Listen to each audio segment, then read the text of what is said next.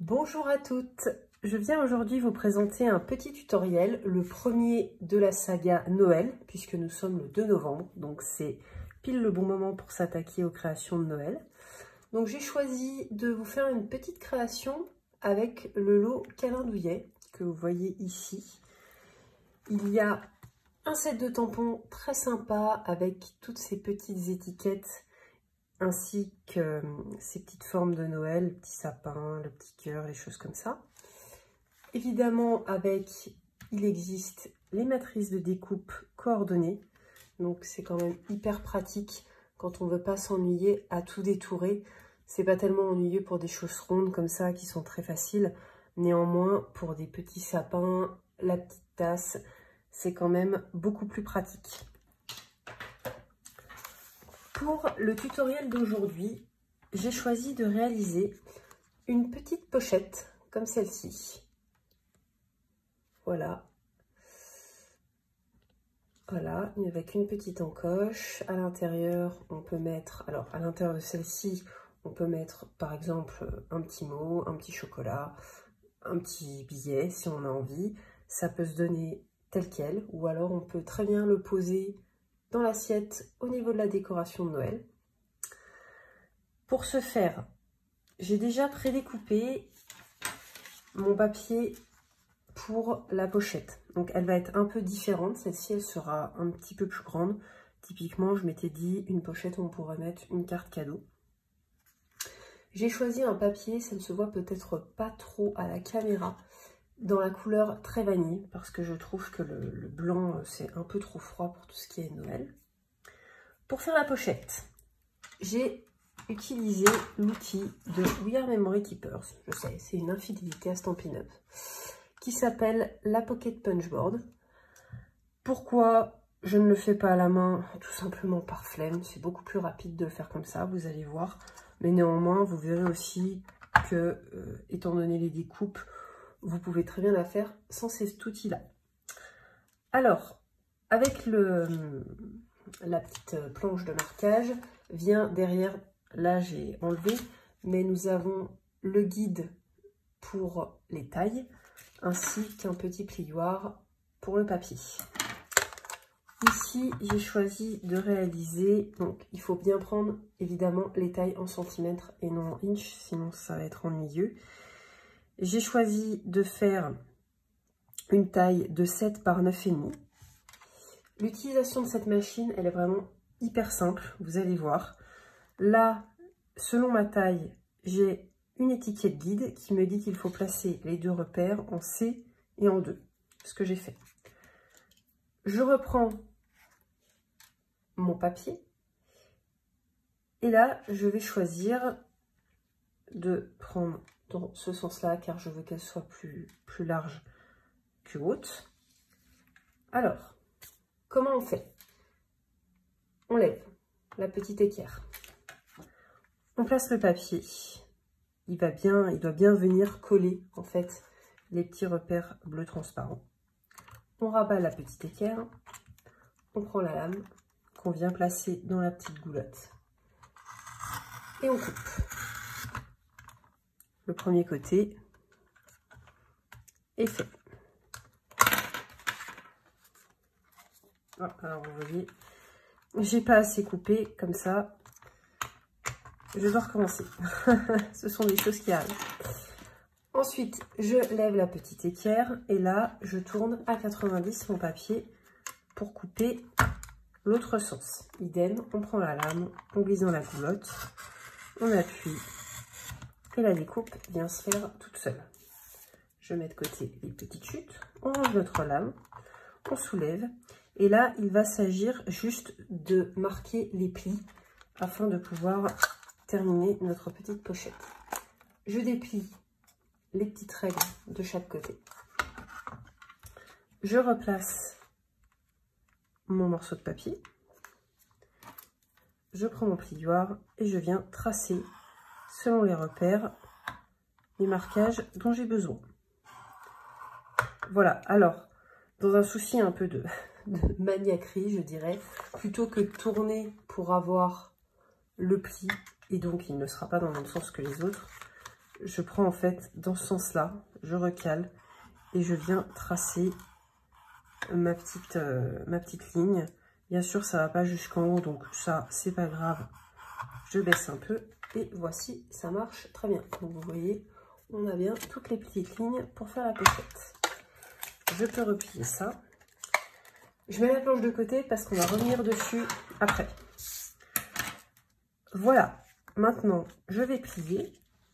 Je rabats le premier. Vous marquez bien les plis pour que ça nous fasse une jolie pochette les uns après les autres. Voilà. La dernière. Voilà. Je pourrais choisir du double face pour coller ma petite pochette, mais à la place, j'ai choisi d'utiliser la colle tombeau. La colle tombeau, c'est à peu près la seule colle blanche qui ne gondole pas. Donc, je commence par en mettre un petit peu ici. Je colle la première partie et j'en mets un petit peu ici pour pouvoir terminer de coller ma pochette. La colle tombeau, ce qui est pas mal, c'est que ça se scelle assez rapidement. je vais quand même mettre un petit coup de plioir pour être sûr que ça scelle bien. Et vous allez voir que très rapidement, on va avoir notre petite pochette. Voilà. Maintenant, on va l'habiller. Alors, pour l'habiller, je vais faire... Donc, je vais prendre un, papier comme celui-ci. Et je veux... Je veux pas qu'en fait, ça fasse la taille exacte de ma pochette. Je veux mater un peu. Je trouve que c'est tellement joli quand, euh, quand on voit un petit peu le papier ici qui dépasse. Donc, je vais mesurer pour avoir. Donc là, on est à 6,9. Je vais faire du 6,5 je vais enlever 4 mm par 9,1. Je prends mon massicot. 9,1. Voilà. Et on a dit 6,5. Je vais caler un petit peu. Et on a dit 6,5. Voilà. Alors, ma lame est un peu, une petite astuce, ma lame est un peu euh, usée. Donc là, on voit que j'ai un peu, c'est pas très net, on va dire. Donc, petite astuce, je passe un coup de bloc à, à poncer pour avoir vraiment quelque chose qui est parfait, on va dire. Voilà. Je reprends ma petite pochette, je fais la mise au point et là, je trouve que ça va hyper bien. Je vais coller. Je colle. Alors non, attendez. Avant de coller, j'ai oublié une petite étape. Je fais toujours, je trouve que ça rend mieux. Alors là, j'ai fait deux exemples pour vous montrer. Un exemple où j'ai tracé un petit contour avec un stylo micron et l'autre où je ne l'ai pas fait. Et je trouve que ce, modèle-ci euh, fait vraiment plus fini que celui-ci. Alors, je prends un stylo micron Et je viens juste tracer un petit contour noir pour avoir quelque chose de beaucoup plus fini. Je ne sais pas si c'est c'est moi qui... Ah, mon chat essaye d'entrer. Je ne sais pas si c'est moi qui suis un peu trop... Euh, comment dire Un peu trop maniaque. Non, mon petit chat, tu ne montes pas. Hop je trace un petit trait. Mais j'avoue que c'est un effet que j'aime énormément faire sur mes créations. Donc je ne sais pas, dites-moi si vous, c'est pareil. Si vous avez une petite, euh, une petite euh, obsession avec ça. Voilà, on termine le petit cadre et on va pouvoir coller. Ça c'est fait. Je reprends ma colle tombeau. Pareil, je ne colle pas avec du double face. Je trouve que la tombeau va bien, ça n'endole pas, ça scelle vite. Hop. On en met un peu partout sur le contour. Voilà, et un petit peu au milieu, histoire de dire. Et on va venir positionner ça sur le devant de notre petite pochette cadeau. Je viens seulement de voir que la taille est vraiment bien pour une carte. Voilà, on s'assure que c'est long. Et ensuite, ce que je fais, c'est que je vais retourner le temps que ça colle bien et que ça scelle correctement mon petit morceau. Donc je ne sais pas si vous vous souvenez, tout à l'heure je vous ai dit on met de côté la, la planche de marquage parce qu'on va revenir sur notre pochette. Il manque bien évidemment la petite encoche. Pourquoi je la fais après? Parce que si je la fais avant, c'est beaucoup plus contraignant, on va dire, d'avoir exactement la même forme à ce niveau-là. Je reprends la planche, je la tourne, je centre à peu près la chose et je perfore. Voilà, on a fini avec la planche de marquage. Voilà notre petite pochette. Elle est prête. Nous allons faire la partie décoration. On met la pochette de côté. Et cette fois, on va prendre les tampons ainsi que la planche à tamponner, la Stamparatus. J'ai déjà tamponné euh, les petits éléments. Je voulais pas vous, vous perdre de temps à tout faire. Donc là, je vais juste prendre le temps de faire mon tamponnage qui dit c'est ma tournée, joyeuse fête. Alors, je viens prendre mon morceau de papier que je viens fixer avec mes aimants. Je viens ensuite mettre mon petit tampon où je le souhaite. Donc c'est très bien pour pas faire de la paire de papier. Je referme et j'ai pris l'encre pan pour faire ce tamponnage. Alors, la planche à tamponner, c'est bien parce que vous allez voir, je ne sais pas vous, mais moi, j'adore avoir des, des tamponnages qui sont vraiment euh, forts en couleur, on va dire. Et la planche à tamponner, ça permet, si on n'a pas assez appuyé à un endroit, ou si on trouve qu'il manque un peu la couleur, de, par exemple, ici, je trouve qu'il manque un peu de couleur là. Vous allez me dire c'est vraiment très léger. Mais je préfère que ce soit vraiment égal partout. Je remets un peu d'encre. Et là, c'est vrai que ça vient se repositionner tout de suite au bon endroit. Et ça nous fait une très jolie euh, image. Voilà, on fait un tout de suite ça sèche. Et je nettoie aussi mon tampon. Voilà. Tous nos petits tamponnages utiles sont faits. Je vais pouvoir enlever ceci. Et maintenant, nous allons passer à la partie découpe. Pour la partie découpe, je prends donc ma Big Shot je vais venir découper tous les petits éléments. Alors, on place notre papier et je vais essayer de couper plusieurs éléments en même temps. Donc déjà, je vais découper la grande on place bien dessus. C'est un tapis magnétique, hein. alors ça tient bien euh, lorsque l'on veut. Je... Ah, alors attendez, j'avais pas vu. Je laisse un peu dépasser mon papier ici, voilà. Je mets la deuxième plaque, je tourne la manivelle et un seul passage suffit pour euh, cela. Je dis pas que c'est le cas pour les, tampons détaillés, mais pour ceci, du coup, ça marche. Et voilà, on voit notre petite découpe, pardon, sur champ, qui est très bien. Je la mets de côté. Je reviens. Je mets la découpe du petit sapin, la découpe du cœur. Voilà. Et la découpe de la tasse. je prends un peu un risque en les mettant tout en même temps. Mais je pense qu'avec le tapis magnétique, ça va faire. Voilà, pardon. Je mets la deuxième et... Et voilà, ça n'a pas marché. Vous voyez, ça a bougé. Pour la bonne et simple raison que j'ai trop laissé dépasser en haut. Donc on va couper un peu. Et on va refaire la manipulation. Alors c'est un peu fastidieux de couper ces petits éléments. Mais après, je trouve que le rendu est tellement joli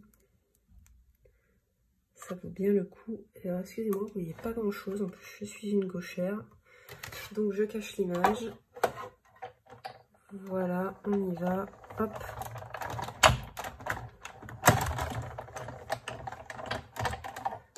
Voilà, tous nos petits éléments sont prêts.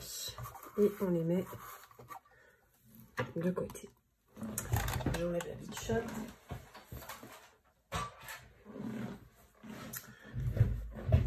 J'ai préparé, alors l'idée en fait c'est de faire passer le ruban dans une petite boucle.